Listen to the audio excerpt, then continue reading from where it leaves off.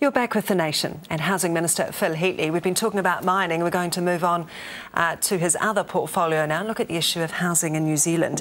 Um, Minister, I'd like to raise a quote that Bill English said earlier this week. He said that um, the most unfair aspect uh, in relation to affordable housing is that there's no housing being built for people in the lowest quartile of income. So, mm. how do you fix that problem? What do you have to do? Look, if you ask me if there was one fundamental issue that's driving that, it would be simply this, is that the cost of land, the cost of sections is so high that when a builder comes along and buys a bare section and has to build a house on it because he's paying so much for the land, he has to build a flash big house to make any money. And so if you get land prices down at a reasonable level, you can start building, you know, less expensive houses, you know, houses that don't necessarily have two or three bathrooms, you know, all that type of thing. So get the land price under control and uh, land size under control. And I think you're a long way there. Look, it's not the silver bullet, but I'd say it'd be top of the list. How?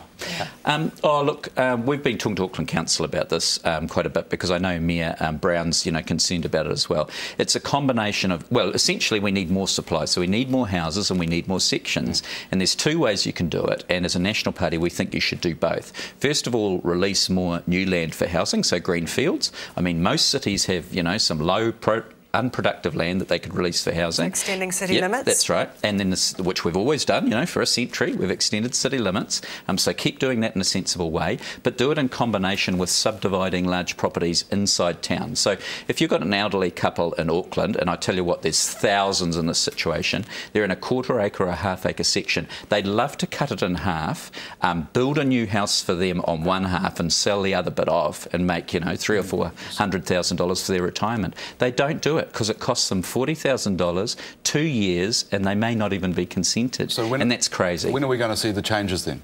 Well, the um, problems existing now. Yeah, yeah. So Auckland Council, if I can go to that example, they've already said that they're going to have 60 or 70% of new housing within city limits, and then they're going to increase um, the, the, expansion of Auckland in a sort of a sensible, staged manner. So that's good. The, you know, the balance well, is really good. What does that mean? Up, uh, out? Uh, I think both. So in terms of so up and out. Um, but what we're doing with them is, uh, uh, for example, in, in Tamaki in Auckland, the council and the government have just formed a company in Tamaki where there's 6,000 houses up there. We own 3,000 of them. They're state houses. They're on half acre and quarter acre sections, most of them. We're going to go through those um, houses and we're going to sub subdivide properties. We're going to rebuild state housing. We're going to put new insulated housing in, not you know 1950s cold ones, and we're going to go through and increase the housing supply. Now, if we can do that as an example up in Tamaki, and we're not talking hundreds, thousands, um, we think other areas of the country can look on that as an example. So that's that's state housing playing a big part. Yep. Local government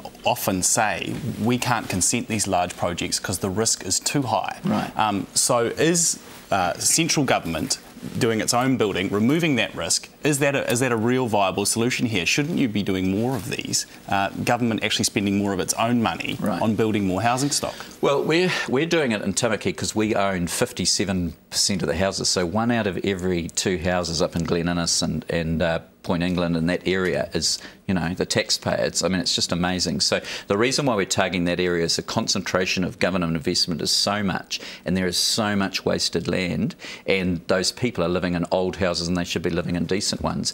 Um, there are other examples across the country where we could do that sort of stuff, but that's our first cab off the rank. But I've got to say, you know, historically in New Zealand, and it's worked well for us, it's not up to the state to provide, you know, housing for, you know, nine out of ten people. They want to buy their own home and be independent. Who's going to pay for the sub, for the new houses being built in Tamaki? Oh well, it's a it's a, it's a, um, a, a, selling off of land, reinvesting the money in building that type of thing. Who so, are you selling it to? Developers um, or NGOs? Oh well, we, we're um, going to be putting out eventually, I mean, they're working through this over the next 12 months, but they'll be putting out requests for proposals um, to um, developers who will work with community housing organisations and others. And what we'll have is, in the end, we'll have a state house, we'll have a house owned by a first home buyer, um, a house maybe on a large, you know, larger house in a smaller section, a community housing organisation. The idea is to have a really mixed development. What's, what's stopping these houses being really expensive then?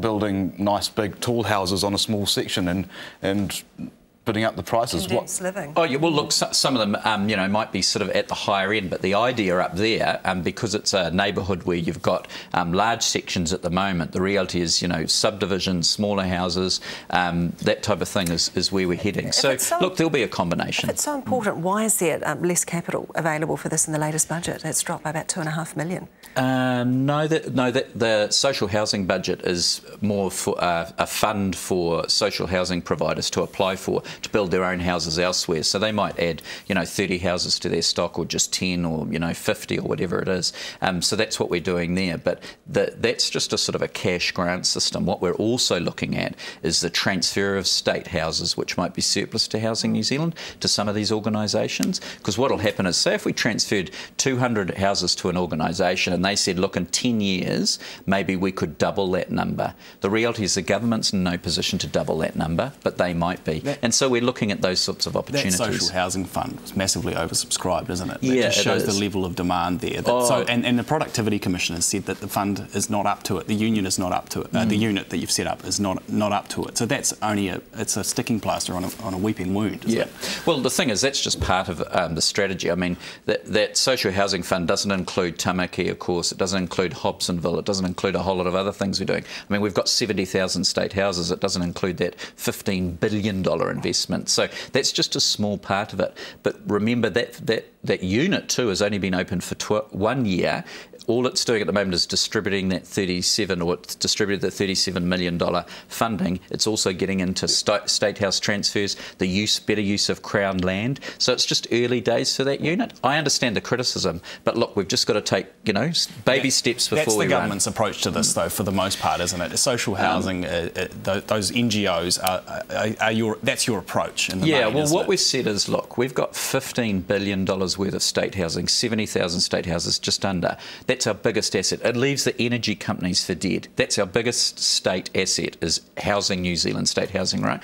That's a huge investment by New Zealanders. We're in no position to build more and more state houses, you know? We're just not in that position. So what we're saying is, look, we want to we want to insulate all our state houses because they're not. We want to upgrade them. We want to do job, uh, work like we are in Tamaki. But in terms of the growth of social housing in New Zealand, we would rather other organisations who are really skilled at it do that work. In the short term, if you look at um, you know the government's housing policy, pretty central to that has been this accommodation supplement. Mm. Surely that is going to blow out when you have rents going up, less mm. houses available. That's going to become a massive cost, isn't it? Yeah, well, it is a concern to us. So the accommodation supplement costs about $1.2 billion a year and state housing rent subsidies cost about um, 600 million. So you you know you're close to the sort of two billion mark, and that is of a serious concern to us. We don't. We're a bit like the Labour Party actually came out recently and, and asked the question: Is that a good spend for that? You know, 1.8 so billion. reviewing it. Yeah, so we are reviewing it because we um, don't think so. We think it probably can be targeted better. Um, for example, you know, when you've got someone in a state house getting a really cheap rent, you know, 80 bucks a week, and then they have boarders who get the accommodation supplement, you know, that household could be getting that state house for almost for free. And we've got to be careful You're with saying that the stuff. supplement's being rorted? Um, oh, look, in the welfare system, you know, you get these uh, things from time to time. If it's if it's the rules, um, then we've got to change the rules. Clearly, if someone's being dishonest, well, we'll catch them out. When will we see changes?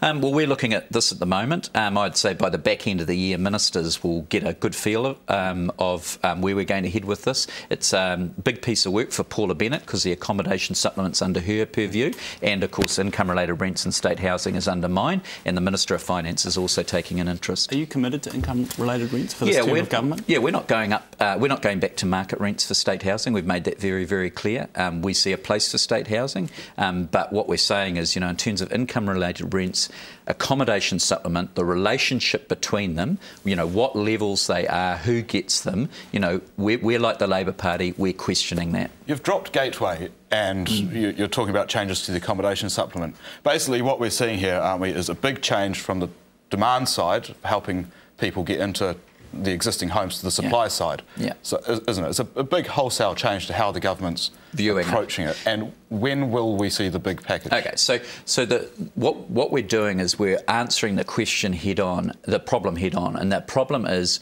we're not building enough houses, mm. okay, and we're not building enough houses that are affordable. So the release of land, um, making sure that council processes are much more streamlined. Um, That's still months away, though. So what's happening What's happening now, though, to Well, well, the reality is for builders, I mean, they've down tools for two or three years because of the recession. They haven't had capital. Um, once they start picking up those tools, and we've started seeing that happening now, we just want to make sure they've got the land to build on and the consenting processes to work with. All right, Housing Minister Phil Heatley, we do have to leave it there, but thank you. My pleasure.